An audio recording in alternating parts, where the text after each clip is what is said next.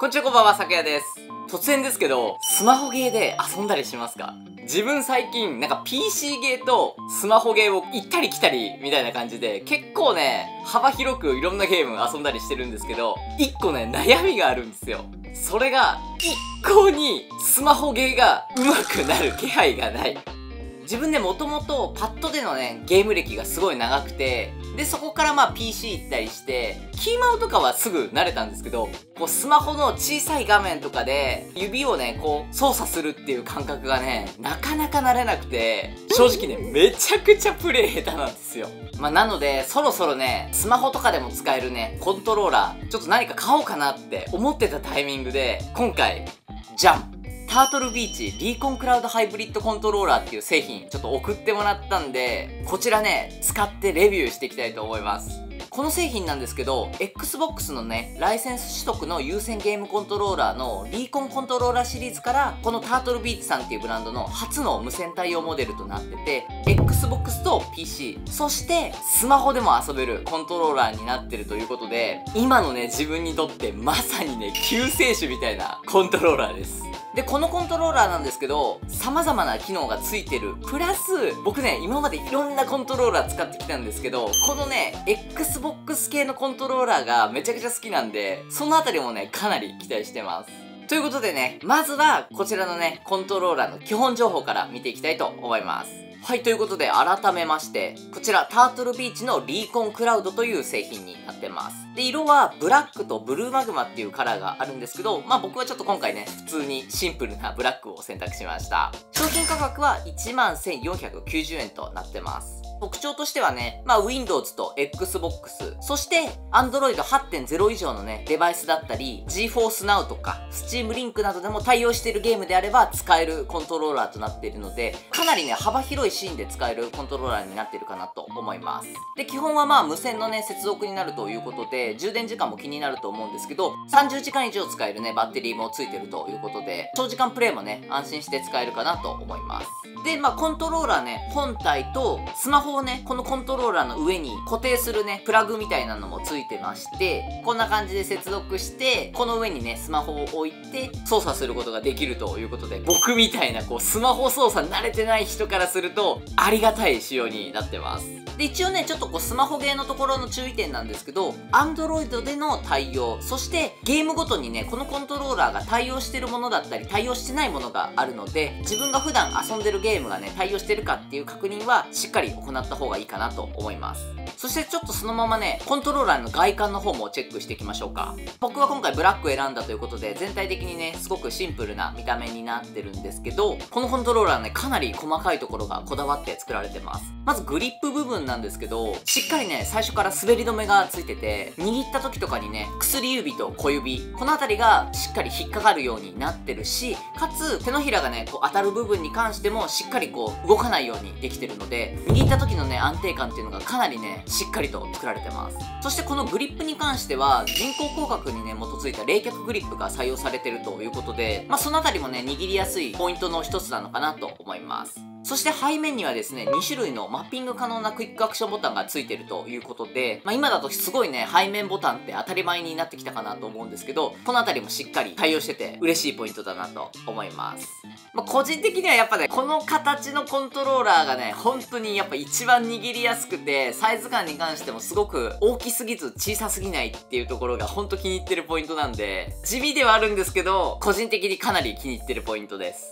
そしてちょっとね、これコントローラー本体チェックしてると気になる部分ね、出てくるかと思うんですけど、この上のところに色々とボタンついてると思うんですけど、これがね、最初にも話してた、いろんな機能がね、ついてるっていう部分になります。で、まあ、この辺りにね、あるボタンの機能に関しては、無線じゃなくてね、有線モードのみで対応してる機能になってしまうんですけど、かなり面白くてですね、例えば、この S のボタンのところに関しては、スーパーヒューマンヒアリングっていうモードとなってて、足音だったり、敵のね、リロード音なんかも聞き取りやすくできるっていうモードとなってます。多分ね、この辺りに関しては、ここのコントローラーのね、下のところにある 3.5mm ヘッドセット接続のところから音を聞いて対応してるね、機能になるのかなと思うんですけど、まあ、プリセット機能が使えたりとか、自分でね、ゲームオーディオを細かくカスタマイズみたいなこともできるみたいなので、コントローラー1台でアンプ的なね、使い方もしたいっていう人だったら、かなり嬉しいんじゃないかなと思います。まあ、なので、この後ね、ゲームプレイやっていくんですけど、まずは、ちょっと今回僕としては、スマホのところでね、どんな感じ、まあ、遅延が特にないかとか気になってるので、まずはスマホでね、遊んでみる雰囲気っていうのをお見せしたいと思います。そしてその後にちょっと PC の方で遊んでいこうと思うんですけど、PC の方ではね、主に純粋にこのコントローラーの使い心地の部分だったり、PC の時は普通にね、有線接続でやってみようと思ってるので、まあ、先ほど言ったオーディオ関連のところだったり、っていうのを見ていけたらなと思います。ということで、早速ですけど、まずちょっとスマホの方でね、どんな感じなのか見ていきたいと思います。よし、じゃあまずですね、ちょっとスマホの方遊んでいきたいと思います。で、取り付けに関してなんですけど、まあ、コントローラー本体。これに、まあ、スマホをね、この上に装着する用の、こんな感じのものがね、ついてるので、まずはこれをちょっとね、コントローラーにつけたいと思います。で、コントローラーの、まあ、ここの部分にネジ穴が開いてて、そこにね、これ、刺す感じです。はい。で、はまったら、ネジ回して、よいしょ。はい。これで準備完了と。で、上の部分が、はい。こんな感じで伸びるので、ここを、よいしょ。はい。いけましたね。結構ね、でかいスマホなんで大丈夫かなと思ったんですけど、しっかり固定してくれてます。ここのね、ネジのところ、くるくる回して、はい。こんな感じでね、まあ、角度も変えることができます。で、今これコントローラーにね、取り付けてる感じでやってるんですけど、上のここの部分もね、取り外せるので、こんな感じで、スマホスタンドのね、ところだけ取り外して、まあ、ちょっとこういうね、モニター的な使い方も使えるみたいです。はい、ということで、ちょっとね、ゲームの方をやっていこうと思うんですけど、ちょっとね、何遊ぶか悩んだんですけど、今回ね、このコントローラーに、Xbox のね、クラウドゲーミングの1ヶ月の無料パスがちょっとついてたんで、それ今回ね、適用して、その中にあるね、ちょっとゲーム選んでみました。で、今ちょうどゲーム起動したとこなんですけど、ちょっと操作してみたいと思います。すごいね。おー、すげー。なんかめちゃくちゃ新鮮。でね、今んとこちょっとメニューの感じでちょっとコントローラー触った感じだとかなりねぬるぬる動いてますね。結構びっくりしてます。すごい。本当に CS 機をスマホで遊んでるみたいな感じ。えじゃあどうしようかな。ちょっと戦ってみたいんでマルチ行ってみますか。お始まります。いきますよ。あすげえ。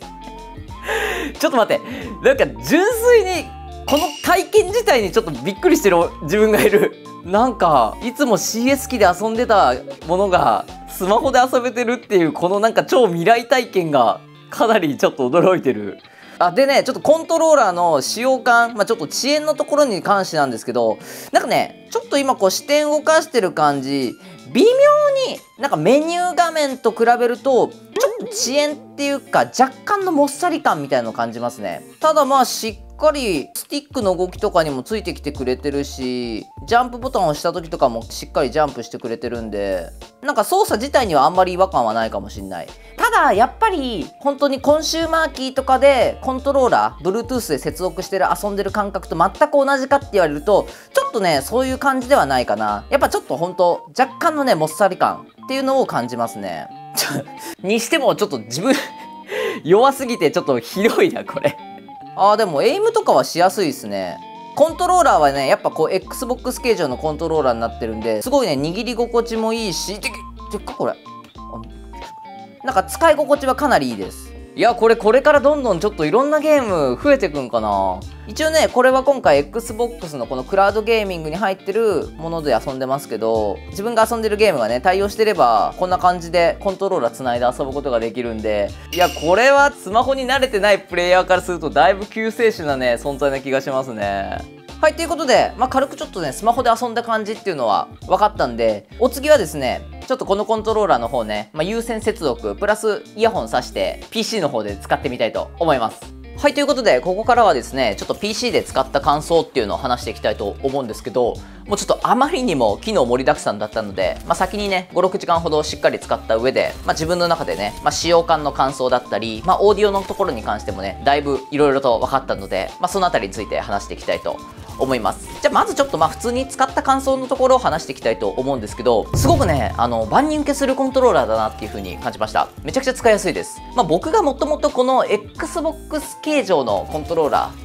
きっていうのもあるかもしれないんですけどやっぱりねサイズ感が絶妙で握った時なんか大きすぎずかといって小さすぎずっていうとにかくね握りやすいコントローラーです。グリップのところに関してもやっぱりこう滑り止めグリップがついてるっていうこともあって、まあ、長時間プレイした時の手汗が出た時に関しても全然ね滑る感じもなかったですしあとまあゲームプレイ中に気がついたんですけどスティックのところにもですねちょっとしたこう滑り止めというかちょっとギザギザみたいのがついてましてそれもねだいぶこうスティックから親指がずれる感覚を軽減してる感じがあってこう銃をね覗いてる時のこう微妙なこのエイム感だったりまあ追いエイムとかだいぶサポートしてくれてる感じがありました結構ねこう吸い付いたエイムみたいなのも多かったんですけどなんかその辺りも特にこのやっぱこのスティックっていうところがだいぶね使いやすいのもあるのかなっていう風に感じましたね。まあ、なんでだいぶねこう慣れるまでの時間っていうのも短縮できたりっていうのもあって、まあ、かなり誰にでも使いやすいコントローラーになってるのかなって思ったところもあるんですけどえちょっと2点ほどね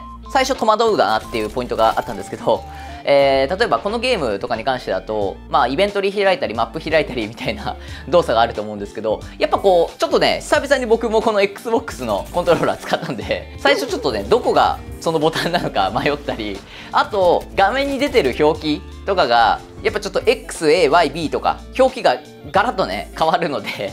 ちょっと最初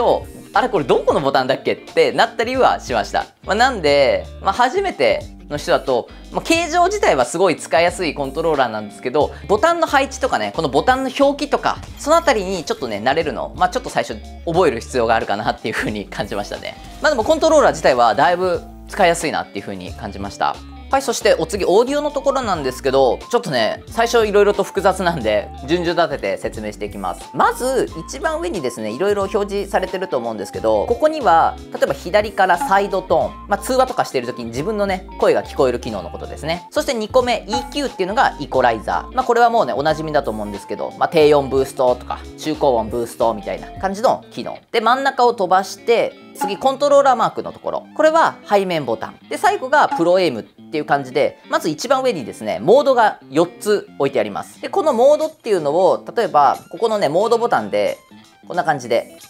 はい切り替えることができます。イコライザー設定したいなって言ったらまずモードを押してイコライザー選ぶと。でそうすると次なんか真ん中のここ光ったと思うんですけどここがですねプロファイルになってます。で今1個光ってるんでプロファイル1の設定になってるんですけどじゃあプロファイル4使いたいなってなったらはい EQ にしてセレクトをはい、4個光るまで押して今4個目のプロファイルを使ってます。でこの EQ の4個目とかはボーカルブーストっていうねプロファイル設定になってるんですけど、まあ、音楽を聴いたりみたいな時に使うイコライザーになってます。で他にも2個目だったらベースブーストとかそういった、まあ、用意してくれてるねイコライザーが、まあ、ここのボタンのところで切り替えることができます。で最初の例えばサイドトーンで言うんだったらここのプロファイルボタンの切り替えで大きさローミディアムハイマックスみたいな感じで音のね大きさとかを切り替えることができます。で3つ目のここのねコントローラーボタンのところは背面ボタンの機能になるんですけどじゃあ例えば A っていうゲームの設定はプロファイル1にしておこうと。じゃあ今日はちょっと B のゲームで遊ぶから B 用の設定はセレクト2にしておこうみたいな感じでゲームごとの設定っていうのを保存することができます。でここでね背面ボタンの設定とかもするんですけど例えば僕 APEX だとジャンプボタンと殴りボタンかな？をよく背面ボタンに設定するんですけど設定方法はまずコントローラー選んでもらってプロファイルを選びます。じゃあ例えば4個目。4つ光ってる状態にしましょうか。この状態の時にセレクトボタン長押し。そうすると、はい、設定するモードになりましたよってなるので今度は後ろのですね背面、まあ、例えば右の方行きましょうか。じゃあ右設定したいんで右を押すと、はい、そうすると右側の設定にしますよってなってるのでじゃあ例えばジャンプボタン A にしました。そして次今度左押すと左の設定ができます。で僕いつもね殴りボタンこう下に配置してるんで今度ここ下にしますと。はいこれで点滅して設定完了しましたってなったら最後にもう一回はい。設定画面から出て、まあ、設定完了させると。そうすると今このプロファイル4個目のところでは、まあ、左ボタンの背面を押すと殴り。で右の背面を押すとジャンプの機能設定になってます。でまあここの右のセレクトボタンで切り替えてプロファイル1にしたりすると今はまたね何も設定されてないのでまたゲームの用途に合ったボタンを背面にね設置することができます。でそして4つ目。これがプロエイムっていうね機能になるんですけどこれも同じでこのモードの時にセレクトボタンを押してプロエイムの、まあ、強弱っていうのをね選ぶことができるんですけどこれはねなんか使ったんですけどあんまりね違い分かんなかったですね。微妙にねなんか感度が変わったなーっていう感じはあるんですけど個人的にはこれちょっと使わない方がいいんじゃないかなって思いました。っていうのはゲーム内の感度変えたいなってなった時とかにこのプロエイムの要素もしっかり配慮して感度変えないといけなくなっちゃったりするのでゲーム内感度プラスコントローラーのこの微調整のところも考えるってなるとだいぶこう自分に合った感度を見つけるっていうのが難易度ね上がってしまうなっていう風に僕はこう昔からこのコントローラーに限らずこういった機能に関してはずっと思ってるので基本的にはちょっと僕は使わないかなっていう感じですかね。まあでもだいぶね面面白い機能ではあるので自分に合うか合わないかはね一回確かめてみても面白いのかなっていうふうには思います。えそして今いろいろと説明してきたんですけど実際このオーディオとか聞き取りやすかったのかっていうとですね個人的にこのイコライザーの機能よりもこっちねこの S って書いてあるところ、スーパーヒューマンヒアリングモードっていうモードなんですけど、これを押すと、はい、イコライザーのランプが消えて、こっちが光りました。で、このモードは、まあ、FPS とかのね、ゲームで一番重要な足音とかが聞こえやすくなる設定になってるんですけど、ダントツでね、これが使いやすかったです。正直、イコライザー1個ずつ全部使って試したんですけど、もうダントツ。足音ね、重要なゲームするんだったら、とりあえずこれ使っとけば間違いないかなっていう感じがありました。まあ、僕普段ね、自分でね、あの、アンプとか用意して、プリセットとかいつもね、設定して、足音とかだいぶ聞きやすい設定にしてるんですけど、その感覚にね、すごい近いものがあって、いらない音とかはしっかり小さくなってるし、足音とかのね、あの、トントントントンみたいな土を踏む音だったり、ちょっと金属踏む音とか、ああいった些細な音とかも、これオンにするかオフにするかでだいぶね聞き取りやすさが変わってたし使い始めてからねあこれ EQ もいいけどゲーム中は多分こっちしか使わないなってすぐになっちゃってこのスーパーヒューマンヒアリングモードの使用時間が一番長かったです、まあ、なんで基本はゲーム中はもうこのねスーパーヒューマンヒアリングモードでいいんじゃないかなって思います。っていう感じかな？あと地味に便利なのがここでマイクのオンオフこんな感じで切り替えることもできますしあとゲームの音量とかここのボリュームのところでね切り替えることができるので、まあ、そういったなんかちょっとリモコンという感じの使い方っていうのも、まあ、地味ではあるんですけど便利だったなっていう風に感じました。ということでちょっと長くなっちゃったんですけど最後まとめ入ります。はい、ということで今回はですね、タートルビーチのリーコンクラウドっていうコントローラーを紹介してきました。もともとね、かなり使いやすい Xbox 形状のコントローラーでありながら、背面にボタン、滑り止めのグリップ、扱いやすいスティックという非常にね、高品質なコントローラーでありながら、スマートフォンでの Bluetooth 接続でのゲームプレイも可能。そして何より、このコントローラーを優先接続することによって、イコライザーだったり、足音がね、めちゃくちゃ聞こえやすくなる設定も使うことができるので、これからね、スマホでゲームだったり、PC でもね、コントローラーを使う予定がある人には、ぜひおすすめしたいコントローラーだなと思いました。ということで、今回紹介したね、こちらの商品の詳細情報はね、概要欄の方に記載しておくので、そちらからぜひチェックしてみてください。それでは、また次の動画でお会いしましょう。さくやでした。ここまで見てくれてありがとうございます。チャンネル登録ボタンと高評価ボタンをポチッと押してくれるとすごく嬉しいです。他にもおすすめ動画や最新動画が載ってると思うので、ぜひチェックしていってください。それではまた次の動画でお会いしましょう。さくやでした。